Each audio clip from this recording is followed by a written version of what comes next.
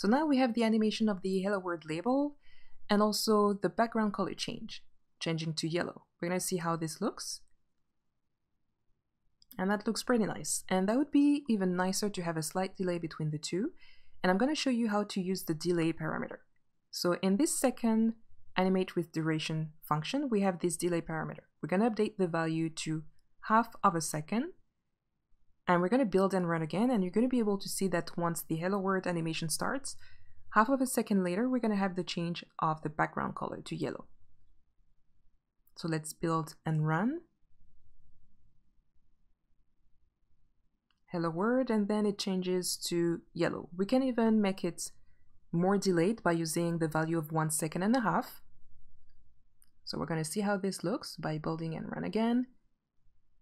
And this time you're going to see the hello world first and then it's going to be slowly changing from white to yellow after a delay of one second and a half during two seconds. So we're going to put it back to half of a second. Now we continue with the animation. This time we're going to look at the second label, my first animation. So we're going to go back to this first animate with duration that we were using to animate the hello world label, and we're going to update the code with the completion parameter. So for now it is set to nil, and what we want is to start another task to execute another code once the animation ends. So we're going to go to completion, and we're going to start, so we're going to use the curly brackets in order to create a closure. And that's going to be the completion closure, Inside, we're going to have another, some other code that we want to, to start executing once the animation ends. So that's going to be self second animation, and that's a function that we have defined, declared, so right below. And there is always a parameter, which is a bool, for the completion parameter that we must always specify. And here we're going to write finished in, in order to indicate that we want this code to execute once the animation ends. So we don't have anything in that function. So just to indicate that the code is executing as expected, we're going to write a print. And we're just going to write something like second animation starts. So you're going to be able to see that when we build and run, we're going to have the animation of the hello world. And right after when it's finished, we're going to see, we're going to be able to read in the console, second animation starts. So it's just to indicate that this is working properly. So we're going to try that. We're going to build and run. So we're going to have our animation hello world, and here you go, you can read in the console, second animation start. So that was just a test, so now it's time to write some actual code in order to create an animation. So I'm going to remove this line, and I'm going to replace with an animate with duration. So we're going to do just like we did for the hello world label, we're going to call this method on the UI view class, so it's going to autocomplete, and just make sure to select the one that takes the parameters delay and also options. So we're going to fill out with the correct information. So that's going to be double values for the NS time interval duration. So that's going to be just one second. For delay, we're just going to leave it as zero. Options, so we can leave it nil by using just the square brackets. We're going to have the opportunity to use the options later.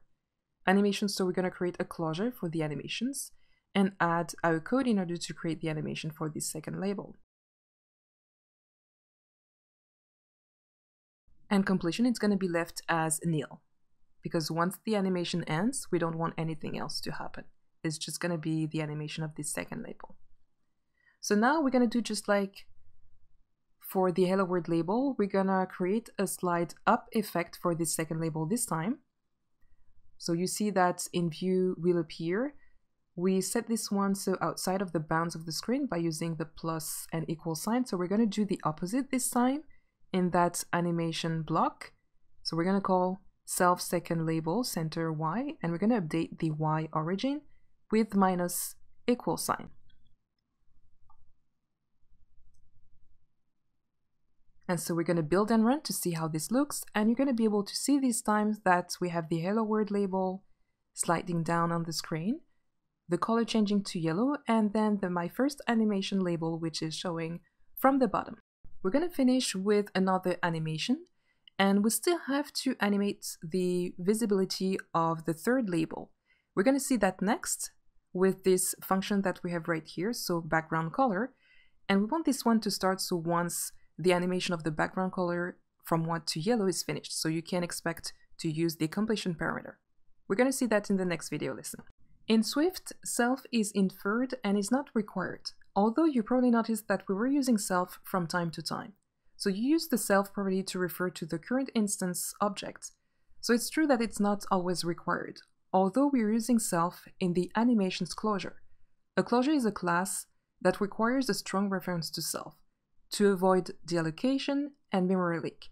So self will be deallocated once the animation is complete. So there's no need to worry too much about that now, but just keep in mind that self is always required when we are inside a closure or a block.